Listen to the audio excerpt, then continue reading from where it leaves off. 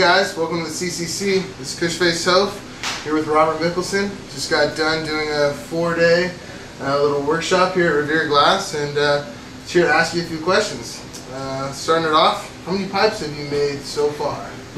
Well, considering that I've been doing it uh, less than a year, I basically started this in March of last year uh, during a visit down in Austin to uh, Kevin Ivey and the Austin Flameworks gang. Uh, that was my first venture into this side.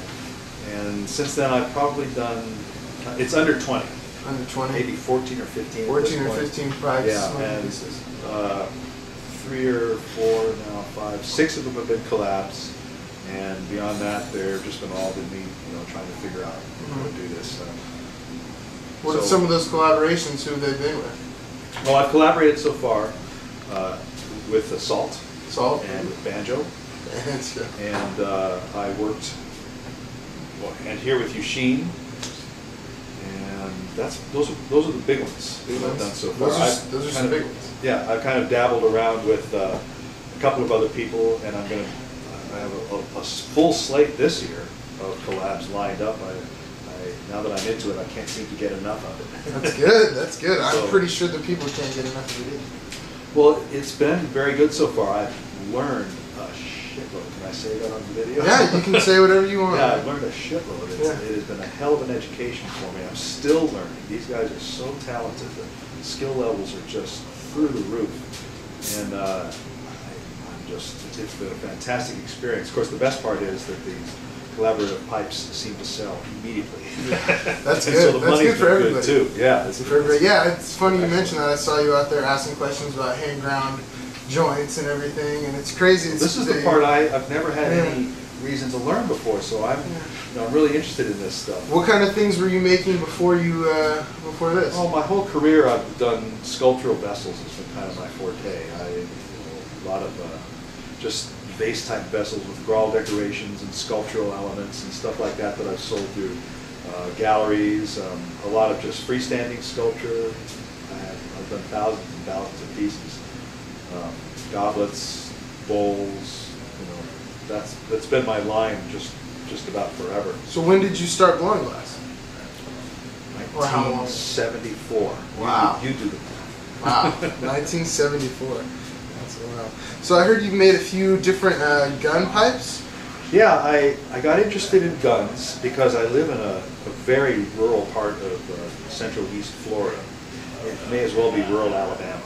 It's just dirt roads and rednecks and hog, hog hunters and horseback riding. I mean, I do some horseback riding. Uh, it's very rural, and of course, everybody owns a gun. Yeah. And I, you know, I got to know these people, and they seem like nice people. Why would they need to own a gun, right? And so I got, I kind of interested in the gun uh, culture. It's like a culture. It's like a fight culture.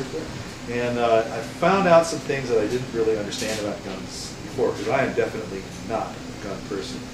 Tell people that. I, I don't own guns, I don't shoot guns, I'm not interested in any of that. However, there is a, a very interesting um, architecture that guns have. It's a compelling, it's not an accident, they're beautiful. Yeah. You know, like a building is beautiful. The, the- the design of guns is not an accident. There are some ugly ones, but for the most part, uh, things like AKs and M16s and AR-15s, those, those guns are very beautiful to look at. They have beautiful lines. Well made. And so, right, I, I figured that uh, if the human race, you know, has a, a natural genetic tendency towards war, well, then this is also proof that we also have a natural genetic tendency towards beauty. If we can take something that's meant to kill, like a gun, and make it beautiful, that says something equally as profound about our nature. So I got interested in guns. The first guns I did uh, were not pipes. Okay. Um, but when I got into making pipes, it was like, duh, they make perfect pipes. Of course they do. What guns have you made into pipes? Well, I've only done uh, four so far, but I have plans to do more. I, the first gun I did was an M16. It was not a gun. It was not a pipe. Not right. Then I did an AK-47. It was a pipe. And then since then, I've also done a Thompson submachine gun and an MP5, which is also an automatic weapon. And those are both pipes. And I've got plans to do more. I have a possible commission to do an AR-15. And I've been looking around at, you know, I look for guns that are aesthetically, they have that lethal kind of architecture that's, I, I think it's beautiful. So I've heard about a little bit of this life forms project or this life form stuff. Can you tell us a little bit about that?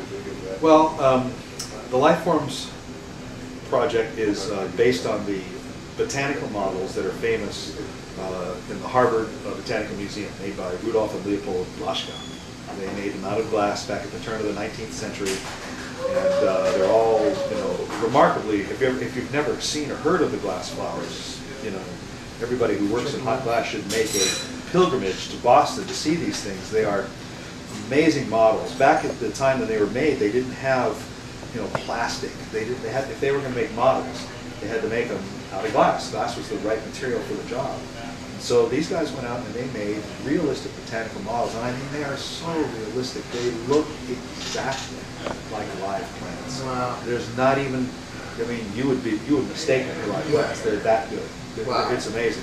So in honor amazing. of their, this body of work that's been on display in this, this museum, you know, where the GAS conference is going to be in 2013, we decided to put together a competition to see if contemporary glass workers could make models of similar quality, if not similar quality, at least in the spirit of the Blaschka models. And we decided to set it up as a competition and an exhibition. Now, do you have to be somebody special to get in, or is it? Uh, the only requisite entry? is that you have to be a member of the Glass Art Society. That's the only requisite. The entry is free, it's not juried, you don't have to do anything. The- The only other requisite is that the model itself that you're entering actually has to be there.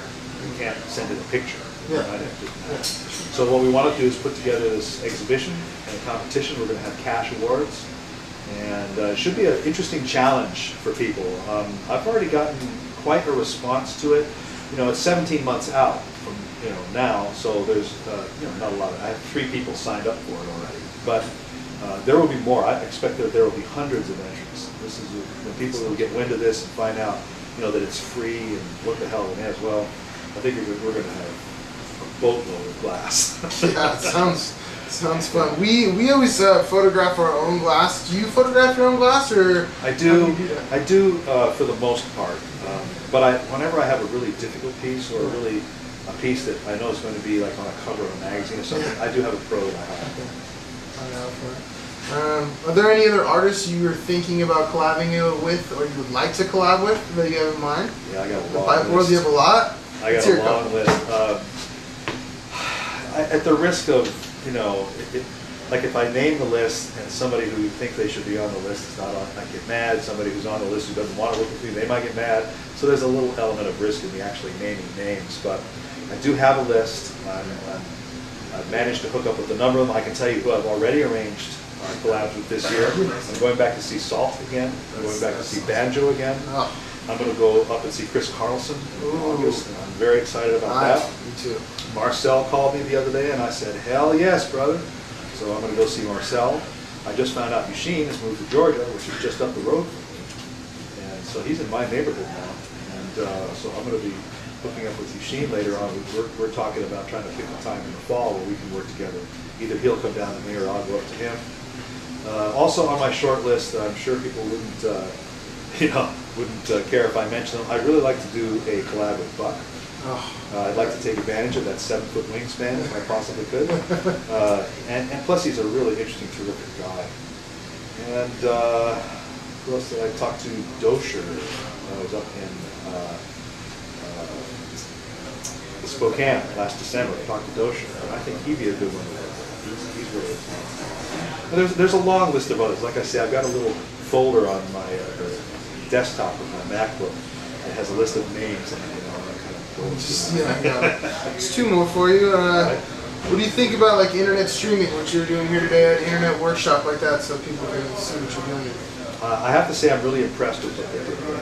I, I, know it's in its infancy, and I know they had some glitches and bugs in the, you know, getting it to work and everything. But um, the response of the people who watched, and uh, just the very idea that people can log in, see it live, interact with us from all over the world, I think it's incredibly powerful. I think you're going to see much, much more of it. I think it's going to be very, very, very popular. I think it's going to be huge. I the people that are on top of this, the way uh, Revere is here, they are going to be the leaders of this uh, new technology and this new way of interacting within the community.